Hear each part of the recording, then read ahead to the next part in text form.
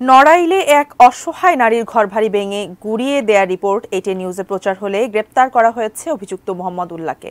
ভুক্তভোগী পরিবারের সাথে যোগাযোগ করে স্থানীয় সংসদ সদস্য মাশরাফি বিন মোর্তজা ব্যবস্থা গ্রহণের নির্দেশ দেন।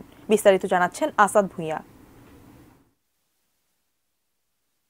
নড়াইল পৌরসভার ধোপাখোলা এলাকার বাসিন্দা নাসিমা বেগম ভিটেমাটি রক্ষা করতে ভেকু মেশিনের সামনে শুয়ে পড়েন তিনি।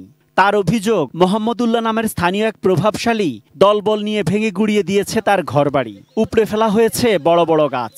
এরপর থেকে আতঙ্কে দিন কাটছে তাদের। আমি দাঁড়াই বেড়ে থাকিছি আমি বারান্দা বেঁচে থাকিছি সেই জায়গাতে আমার বেকু দিয়ে আমার মাথার বাদ দিয়ে সব কিছু ভাঙিয়ে তছ নছ করে দিয়েছে এমন পরিস্থিতিতে আতঙ্কে দিন কাটানো নাসিমা বেগম স্থানীয় সংসদ সদস্য এবং জাতীয় সংসদের হুইপ মাশরাফি বিন মুর্তজার সহযোগিতা কামনা করেন। আমার এই বিতাড়িতর কথা আমি সবাইকে জানাইছি আর আমি মাসাবি মাসাবিকে তার দেখা পাইনি, তার কথা বলতে পারিনি। আমি তার কাছে, আমি তারপরে তবু সুষ্ঠু বিচার চাই। যেন মাসাবি আমাদের সুষ্ঠু বিচার করে। এটিএন নিউজে এই রিপোর্ট প্রচারের পর অসহায় পরিবারের কাছে তার প্রতিনিধি পাঠান মাশরাফি। মোবাইল ফোনে কথা বলে প্রয়োজনীয় ব্যবস্থা গ্রহণেরও নির্দেশ দেন। তারপরই গ্রেপ্তার করা হয় অভিযুক্ত মোহাম্মদুল্লাহকে। শনিবার দুপুরে তাকে আদালতে পাঠানো হয়।